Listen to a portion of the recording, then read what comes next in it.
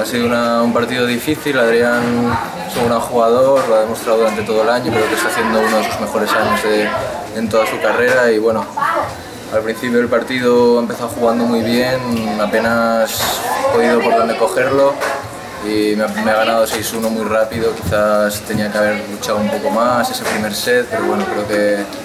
después he ido entrando en el partido poco a poco, he conseguido echarlo un poco para atrás y que no me pegara tantas, tantos golpes ganadores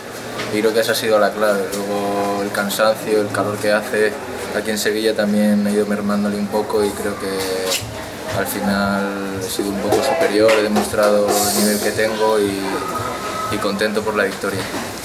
Y jugar aquí en estas pistas en Albero, bueno, es la segunda vez que juego en mi vida, la primera vez había sido hace mucho ya, infantil,